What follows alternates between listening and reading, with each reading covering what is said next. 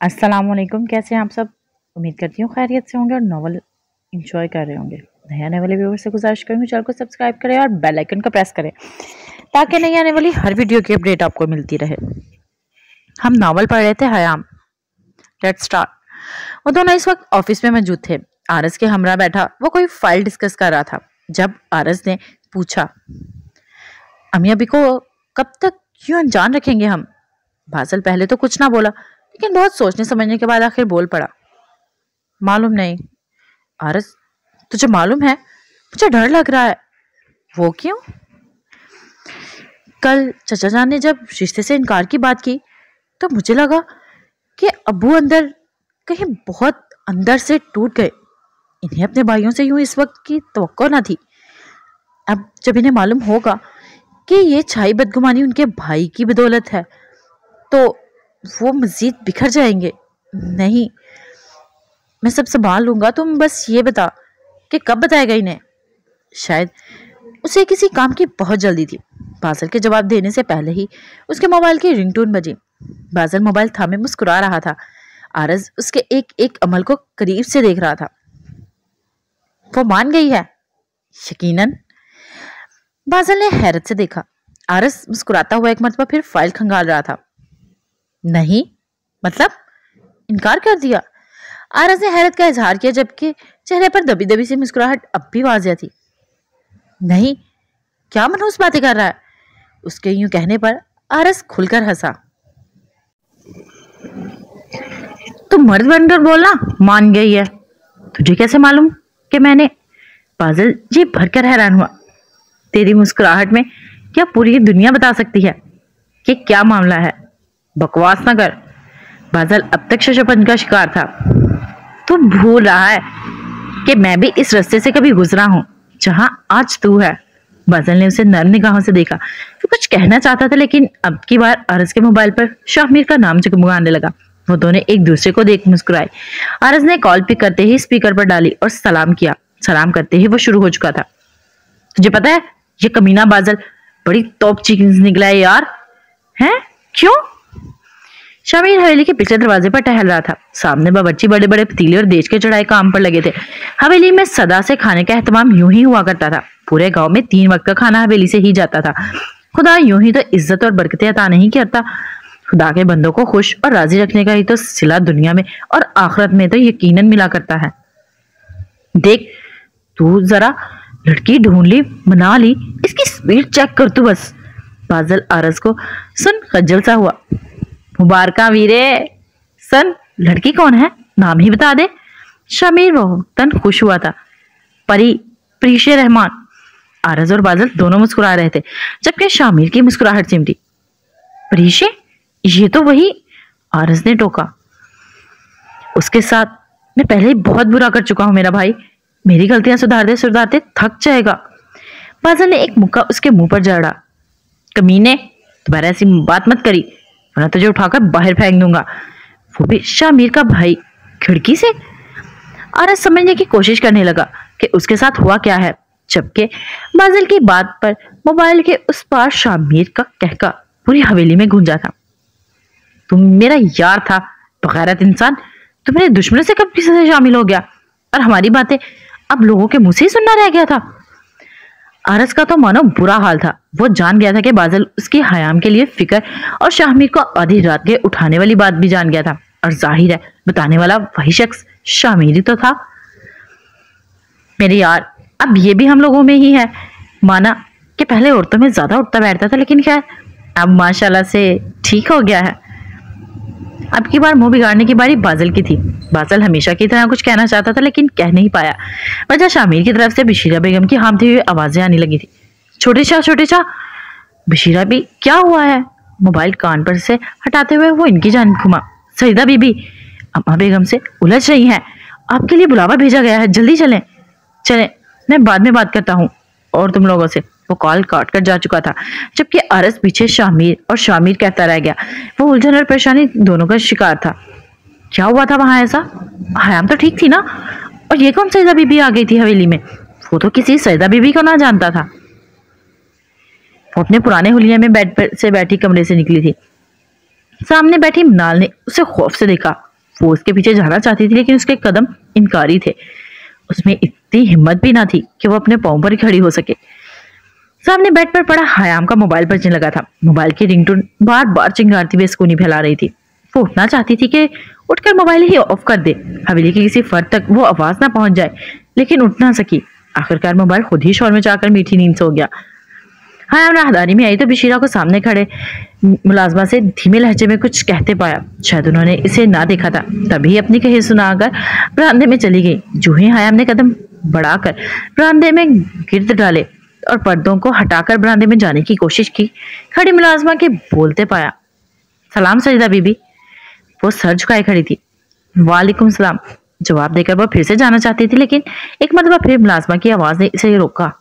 सैदा बीबी, अम्मा बेगम ने बरामदे में आने से सबको मना किया है। वहाँ कोई नहीं जा सकता। हमने सरता बाबू से देखा। हाँ तो मना किया होगा तुम्हारी अम्मा बेगम ने, लेकिन वो मेरी अम्मा बेगम नहीं है। कितनी मरतबा बताऊँ? अब इस हवेली के मुलाजमों को। हयाम ने कहकर एक मरतबा फिर से जाने की कोशिश की। बीबी, मत जाए। आप तो चली जाएँगी, लेकिन अम्मा बेगम मुझे इससे आगे वो मुलाजमा कुछ कह ना सकी। कुछ नहीं कहेंगी वह तुम्हें। उसे एक तरफ़ करके हयाम पर्दा हटाती बरामदे में चलेगी न सर पर दुबट्टा ही, ना मुँह ढांपा हुआ था। बाल खुले झूल रहे थे। दुबट्टा फैलाए, वो वहाँ खड़ी सबको अपनी मौजूदगी बाबर करवा गई थी। वहाँ बैठी तमाम गाँव की खातिनों का रुख उसी की तरफ़ था। वो कौन थी? क्यों थी और इस हवेली में? वो इस हवेली की तो ना थी। बहुत से खामोश सवाल उनके लबों पर मचल रहे थे। हयाम ने मुस्कुराकर अम्मा बेगम को देखा, जो कि बस खामोश नज़रों से उसे तकती जा रही थी। लकड़ी के तख्तनुमा झूले पर बैठी, वहीं जहाँ वो बैठा करती थी। मिशिरा भी समेत बाकी तमाम औरतें नीचे ज़मीन पर बैठी थी। क्या ये बराबरी थी? जो इस्लाम ने सब मुसलमानों को दी थी? हयाम एक मरतबा फिर तंजिया मुस्कुराई, जिसका इल्म सिर्फ़ अम्मा बेगम को था। खालदा बेगम नफीसा बेगम के हमरा मुलाजमों के साथ चाय पानी का बंदोबस्त किए बरामदे में आई। तो हयाम को देख उन दोनों के भी कदम थम गए। हयाम आओ बे, बेटा बैठो।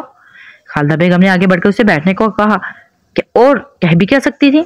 साथ ही मुलाजमों को मेहमान नवाजी करने का इशारा किया गया। गाँव से आई एक औरत ने आखिर को अम्मा बेगम से सवाल कर ही डाला। अम्मा बेगम ये कौन कुड़ी है? ऐसे हवेली देते नहीं है अम्मा बेगम ने महज हयाम को घूर कर देखा। आज उन्हें अंदाज़ा हो गया था, वो जो कहती है सच कहती है, एक मतबा कुछ ठान ले तो पूरा करके ही रहेगी। शहर से आई है। नफीसा बेगम ने वही अम्मा बेगम के पास रखी तख्तनुमा कुर्सी, जिसकी टेक ना थी, पर बैठते हुए जवाब दिया। मुस्तफ़ा बीजे को तो जानती है ना? उन्हीं की बेटी है। वहाँ एक मरतबा फिर खामोशी छा गई। अगर ये मुस्तफ़ा साहब की बेटी थी तो क्या शहर में जाने के बाद सैयदजादे सैयदजादे नहीं रहते? बशीरा भी मुझे बाहर जाना है। हयाम ने सबको नजरअंदाज किया, बशीरा भी को हुक्म सुनाया। उसे सबके मायने की नज़रें चुभ रही थी। वो ये भूल गई थी, जब किसी को तकलीफ़ देना चाहे तो पलटकर कुछ तीर खुद की जानिब भी आते हैं। अपनी लगाई आग में खुद भी जलना पड़ता है। बीबी, कितनी मरतबा कहूँ तुम बाहर नहीं जा सकती। कुछ वक्त पहले जो माहौल में शर्मिंदगी छाई थी कहीं खो गई थी। अम्मा बेगम की कड़कदार आवाज़ गूंजी। मैं भी बता चुकी हूँ कि मैं जाऊँगी। मुझ पर आप ये पाबंदियाँ नहीं लगा सकती। एक मरतबा फिर अम्मा बेगम खामोश हो गई। एक मरतबा पहले भी वो पूरी हवेली के सामने इन्हें जवाब दे चुकी थी, लेकिन अब की बार गाओ तुहीन की गई थी उनकी। बशीरा भी शामिर भाई को बुलाएँ। लेकिन बशीरा भी टस से मस ना हुई। मैं खुद बुलाने चली जाऊँगी। शीरा भी फ़ौरन से बेशतर उठकर बाहर को भागी, जहाँ शामिर मोबाइल पर किसी से बात करने में मसरूफ था। जब तक शामिर ना आया, वो दोनों एक दूसरे को खामोश नज़र से देख रही थी। शामिर के आते ही तमाम औरतों ने मुँह ढांप लिए। शामिर की नज़रें पूरा वक्त ज़मीन से चिपकी हुई थी। उसके आते ही आया हमने दुपट्टा नाम का सर पर फैलाया। वैसा ही नाम का जैसा वो शहर में उड़ा करती थी। हाँ आरस और बाजल के सामने तो खैर थी ना। वो कुछ दिन पहले तो शामिर के सामने भी दुपट्टा ओढ़ने से इनकारी थी, लेकिन रफ्ता रफ्ता अपने असल को लौट रही थी। हयाम के मुताबिक बस इतना ही उसका असल था। लेकिन अगर वो यहाँ तक आ गई थी तो अपने मुकम्मल असल को जानने में उसके लिए देर ना थी। उसका दिल बदलने वाला था। किसी ने पूरे दिल से उसके हक में दुआ मांगी थी। हयाम वो कुछ कहना चाहता था लेकिन कह ना सका। वो अपनी माँ से बहुत मोहब्बत करता था। यहाँ आते ही वो तमाम बातें जान गया था। भाई, मेरा दम घुट रहा है। मुझे खुली हवा में सांस लेना है। मासूम सूरत बनाए वो उसे भाई कह गई थी। शामिर मुस्कुराया। शायद गाँव की औरतों ने उसे मुस्कुराते हुए पहली मर्तबा देखा था। शामिर का दिल चाह के सामने आरस हो तो उसे पकड़कर अपने सीने से लगा लेता और कहता, मैं कुर्बान मैं कुर्बान जाऊँ तुझ पर। अपने जैसी ही ढूंढी है तूने वक्त आने पर किसी को भी कायल करना जानना एक खूबी है, जो हयाम से पहले उसने आरस हसन में देखी थी। बशीरा भी अब नाल से कहिए उसे छत पर ले जाए। कुछ देर खुली फिजा सबके लिए ज़रूरी होती है। इन सब में अम्मा बेगम खामोश बैठी थी। नहीं भाई, खुद सोचे ना, छत पर जाऊँगी तो पूरा गाँव देखेगा और जान जाएगा कि हवेली में कोई बीबी भी मौजूद है। मैं बाहर जाऊँगी तो कोई नहीं देख सकेगा। शामिल एक मरतबा फिर मुस्कुराया वो पागल ये भूल गई थी कि हवेली के चारों तरफ़ खुली ज़मीन से घिरे थे। अगर तो कोई उसे छत पर खड़ा देखता भी तो सिवाय एक नुकते के कुछ ना सोचता। शिरा भी, दस मिनट के बाद आप हयाम को बाहर ले आइएगा। मैं सब मर्दों को दूसरी तरफ़ करवा देता हूँ। वो जाते जाते वापस मुड़ा। आपकी बेटी किधर है? वो आज नहीं आई। इसको बुलवाएँ। दस मिनट के अंदर वो यहाँ मौजूद हो। इस हवेली की सैदा बीबी के साथ साई की तरह रहेगी वो। चाहे अंदर हो या हवेली के बाहर। पिछले ने इस बात में सही लाया वो कहकर चला गया था। हयाम के चेहरे पर मुस्कुराहट उभरी। चेहरा घुमाकर अम्मा बेगम को देखा। जो बेबस उसे देख रही थी। वो सर हिलाकर अंदर चली गई। ये खुशखबरी उसे नाल को भी तो देनी थी। पर्दा हटाकर राहदारी में आई तो किरण मृणाल कान लगाए, इन्हें नहीं सुन रहे थे। इन्हें देख मुस्कुराई जो कि उसके आते ही सीधी हो गई थी। मनाल के गाल पर थपथपाती, वो सीढ़ियों का रुख कर गई। मनाल के कमरे में दाखिल होकर देखा तो मनाल अब बैठ के किनारे पर टिकी थी। हयाम के आते ही फ़ौरन मुड़कर इल्तिजाई नज़रों से उसे देखने लगी। मुबारक हो, हयाम जीत गई है आज। काश कि तुम जान लो कि तुम हार गई हो आज।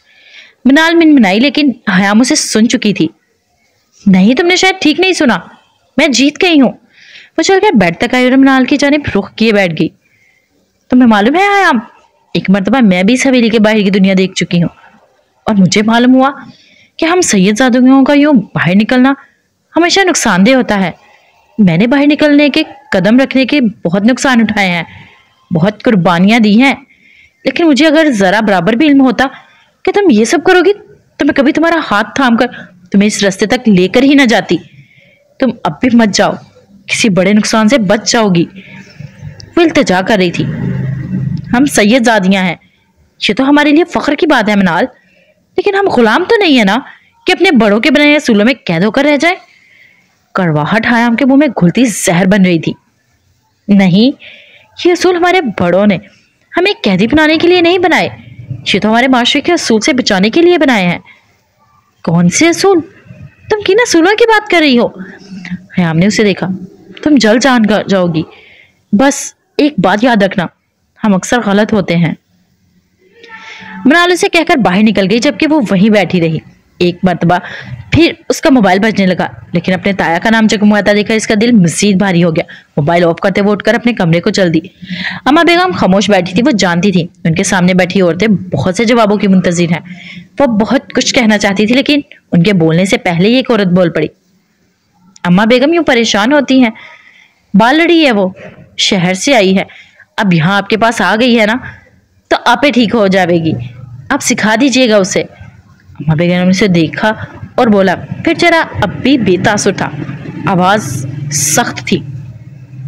मत भूल कि ये सैयदजादी है वो।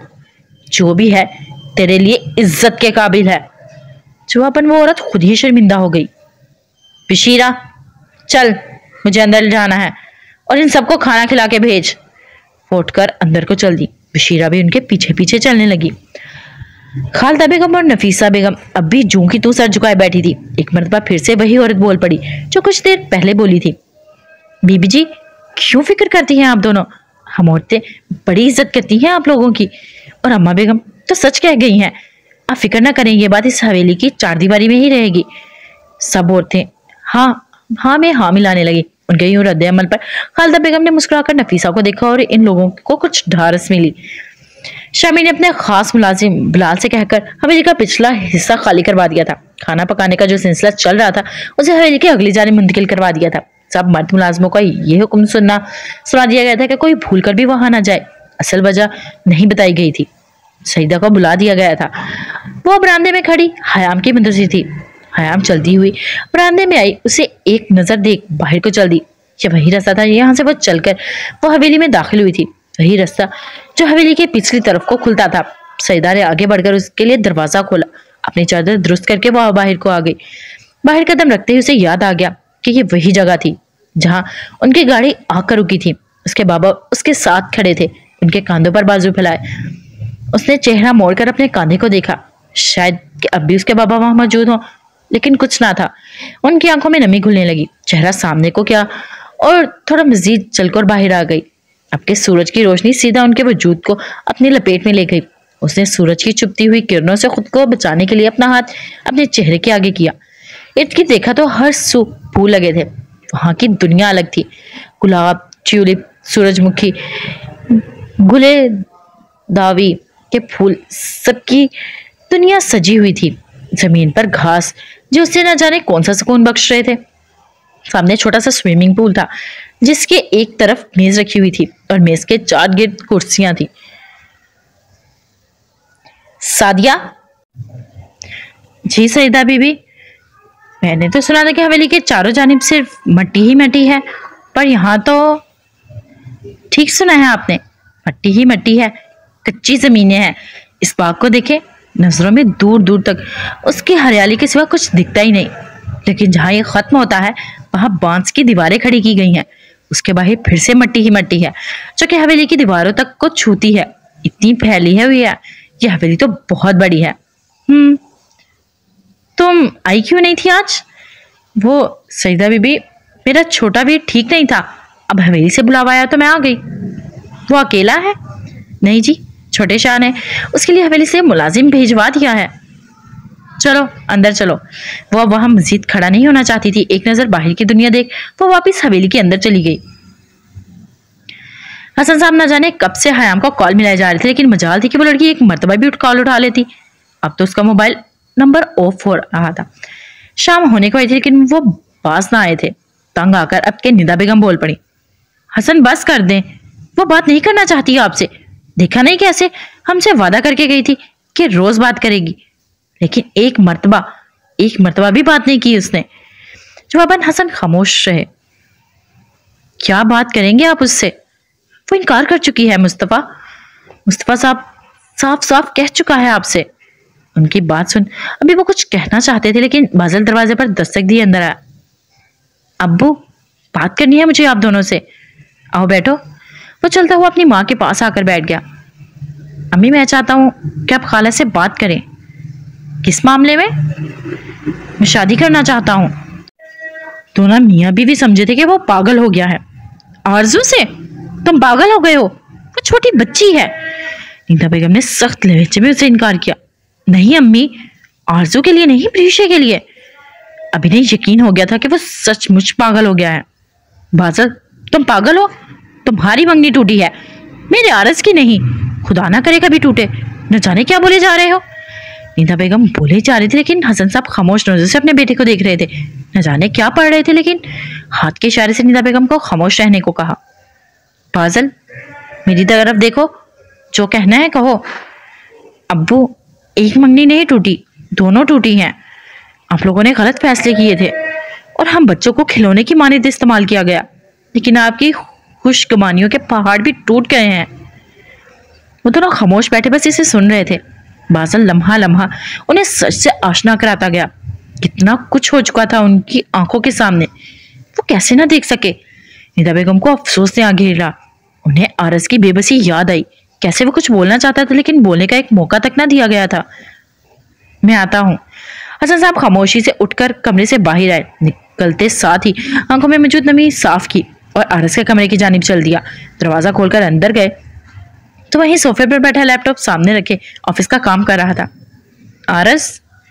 उनके पुकारने पर आरस ने उनकी जानब देखा जो दुनिया और फहमिया से बेगाना काम करने में मसरूफ था। फ़ौरन सब कुछ एक तरफ़ किए, उनकी तरफ़ उनके सामने आ खड़ा हुआ। अब वो खैरियत है ना? आप खुद चलकर मेरे पास। लेकिन उसकी बात मुकम्मल भी ना हो पाई थी। हसन साहब का हाथ उठा था, जो कि आरस के चेहरे पर छाप छोड़ गया। मेरी बेटी को किस रास्ते पर डाल दिया है तुमने? तुम्हारी वजह से वो ये घर छोड़कर गई है। आरस को हँसी आई, लेकिन वो हंस भी ना सका। आज उसका बाप उस तक आया था। तो भी किसके लिए? किसी और के लिए? उन्हें उसकी फ़िक्र थी, लेकिन अपने बेटे का जरा ख्याल नहीं। अबू मेरी गलती। अगर तुम उसे पसंद करते थे तो ये मंगनी करने की क्या ज़रूरत थी? तो वो दो लड़कियों की ज़िंदगी से खेल रहे हो तुम। और हाँ उसके बारे में तुमने ऐसा सोचा तो कैसे? और उसकी आँखों में आँसू आ गए। उसकी हिम्मत जवाब दे गई। उसका सबर बस इतना ही था। बस कर दे अब्बू। कोई गुनाह नहीं किया मैंने। और क्यों नहीं सोच सकता मैं? आखिर क्यों? बताए ना कोई वजह। लेकिन आप क्या बताएँगे? आपके पास कुछ कहने को है ही नहीं। आपके वो सख्त बातें कह रहा था। लेकिन मजाल थी जो लहजा भी उन बातों की तरह सख्त या कड़वा होता। आर एस हसन साहब कुछ कहना चाहते थे लेकिन इन्हें रोक दिया गया। अब्बू, मेरी बात पहले पूरी होने दे। वो बहन है मेरी, यही कहेंगे आप। तो फिर वो बासिल की बहन क्यों नहीं है? ये माँ बाप भी न जाने आखिर क्या सोचकर फैसले करते हैं। अगर बच्चे खुद पसंद कर ले तो नहीं, बहन है वो। तुम्हारी, लेकिन अगर खुद पसंद कर ले, औलाद के लिए तो हज़ार दलीलों को रद्द कर देते हैं। इतना फ़र्क अब्बू? आप बाहर वालों को तो छोड़े, आपने तो मुझमें और बाजल में ही इतना फ़र्क कर दिया। हमारी एक बात ना सुनी। कौन सा फैसला करने का इख्तियार आपने हमें दिया था? कोई भी नहीं। जिसे आप फैसले का इख्तियार कहते हैं ना, वो हमारे लिए मन्नत समाजत होती है। हज़ारों मजबूरियों को लेबल लगाकर माँ बाप अगर ये कह के कि देख लो, आगे तुम्हारी मर्ज़ी है, तुम्हारा फैसला तो बताएँ औलाद फैसला करे तो क्या करे? मैंने आज तक सुना, पढ़ा कि सारी कुर्बानियाँ सैयद जादियों को देना पड़ती हैं। कुर्बानी औरत जात से मंसूब है, लेकिन आज मैं देख रहा हूँ कि कुर्बानी तो मर्द से औरत की नस्बत से ज़्यादा वाबस्ता है। औरत कुर्बानी दे दे तो अजीम हो जाती है। मर्द कुर्बानी दे दे तो कुछ भी नहीं। उसके आँसू रुखसार पर बह गए। हसन साहब ने गौर से उसे देखा। उसका बेटा तो यूँ ना था। ये कोई और था जो इतना कमज़ोर था, इतना बिखरा हुआ था। उसे देख वो मजीद टूट गए। टूटना बनता था। कभी वालदेन के लिए ये आसान भी हुआ है कि अपनी औलाद को बेबस, मजबूर और लाचार देख सके। हसन साहब ने अपना हाथ आरस के कंधे पर रखा और थपकी दी। मुझे मुझे माफ़ कर देना। सर झुकाए, वो कमरे से निकल गए। उनकी आँखों में आँसू थे, वो शायद गलत कर गया था, गलत कह गया था। उसे वो सब नहीं कहना चाहिए था। जाने कौन कौन सी सोचे उसके जहन में गर्दिश कर रही थी। प्रीशा अपने कमरे में बैठी, सर झुकाए, सामने बैठे। अपने भाई के किसी रद्द अमल की मुंतजर थी। भाई कुछ बोले आरस ने कुछ कहा सवाल किया गया। नहीं, उन्होंने तो कुछ नहीं कहा। ये फैसला मेरा है। मैं नहीं करना चाहती ये शादी, और ना ही ये मंगनी। मजीद रखना चाहती हूँ।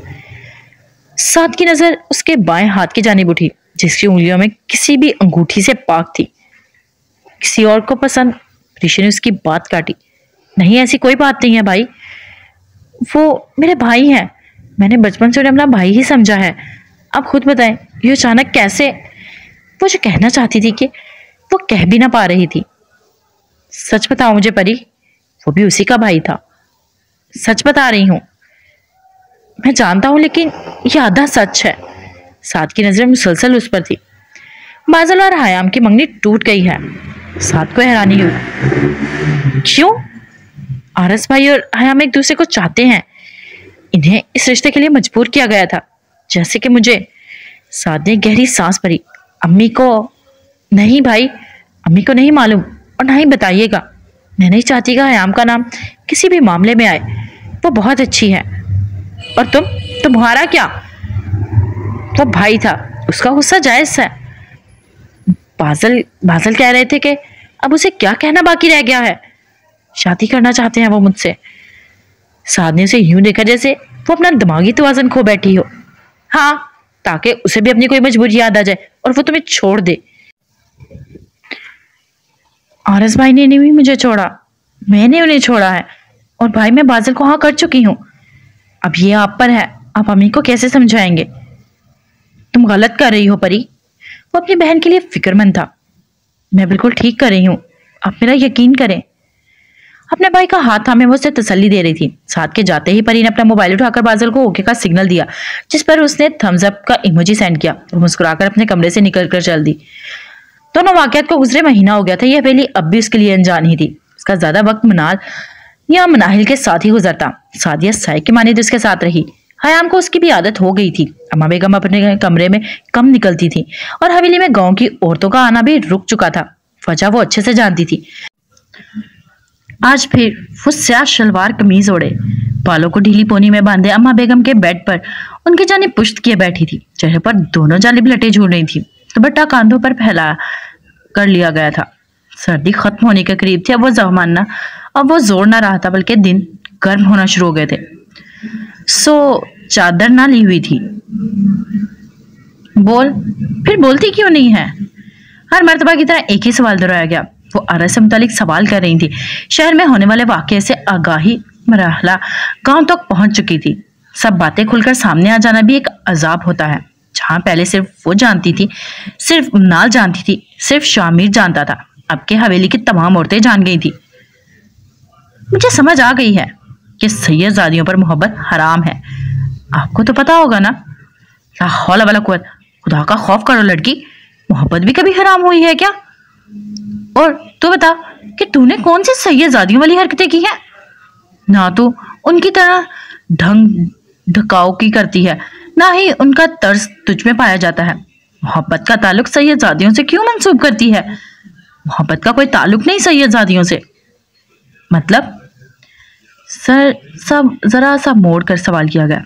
उसके चेहरे का आधा रुख अम्मा बेगम की जानी था। मतलब ये मोहब्बत सैयदजादियों पर नहीं सर से लेकर पाँव तक औरत जींस पर हराम है। सदियों से यही तो होता आया है कि औरत अपनी पसंद का गला घोटकर मौत के घाट उतर जाती है। तू बता इसमें मेरा तेरी माँ या इस पूरे गाँव में बसने वाली किसी औरत का क्या कसूर है? ये पहली मर्तबा था जो दो, वो दोनों आराम से बैठी एक दूसरे को सुन रही थी। तो ये भी बताएँ कि मेरा क्या कसूर है? इस्लाम ने जो हक मुझे दिया है, वो ये सब क्यों मुझसे छीन रहे हैं? खाला माँ, ये बात याद रखिएगा कि मैं इस गाँव में बसने वाली कोई औरत नहीं हूँ। ना मेरी, ना मैं, मेरी माँ हूँ और ना मैं आप हूँ। मैं मैं हूँ। मैं अपना हक छीन लूँगी सबसे। जब अपनी जंग लड़ना आती है। वो अपनी जगह से उठकर अब अम्मा बेगम के सामने खड़ी हुई थी। चेहरे पर लाली उसके गुस्से को वासे कर रही थी। पहली मरतबा था जो वो उनसे मनसूब किसी रिश्ते की नस्बत उन्हें पुकार रही थी, अम्मा बेगम के, उसके जवाब पर हंसने लगी। तो फिर लड़ती क्यों नहीं है? तेरे चेहरे पर शिकस्त की छाप क्यों है? उनके सवालों पर वो धप से वापस उनके बिल्कुल सामने बैठ गई। अब मुझे भी हँसी आ रही है। खुद पर तंजिया मुस्कुराई। लबों पर मुस्कुराहट और चेहरे पर दर्द आँखों में आँसू थे। मैं क्यों नहीं लड़ रही? जब औरत को पता लगता है ना जिसको हासिल करने के लिए वो दुनिया से लड़ बैठी है और उसे सिर्फ़ अपनी अनाह की तस्कीन के लिए खिलौना समझता है। तो किससे लड़े औरत? खामोशी। ऐसी औरत सिर्फ़ खुद से ही लड़ सकती है। देखे ना मुझे खाला अम्मा मैं हालत जंग में हूँ। क्या नहीं लगती? ठीक ही तो कह रही हैं आप। आंसुओं का कतरा रुखसार पर बहा। मैं भी आप हूँ। अपनी माँ और इस गाँव की औरत सी ही हूँ। मैं मैं तो नहीं हूँ। आंसुओं में रुवानगी आ गई फूट कर अपने कमरे के में निकल गई। अम्मा बेगम फकत उसे देखती रह गई। हाथ बढ़ाकर अपनी आँखों में छाई धुन को चादर के कोने से साफ़ किया। ओके okay, आज के एपिसोड के लेते हैं। फिर मिलते हैं नेक्स्ट एपिसोड में। अपना ख्याल रखिएगा दुआ में याद रखिएगा। फ़ी मान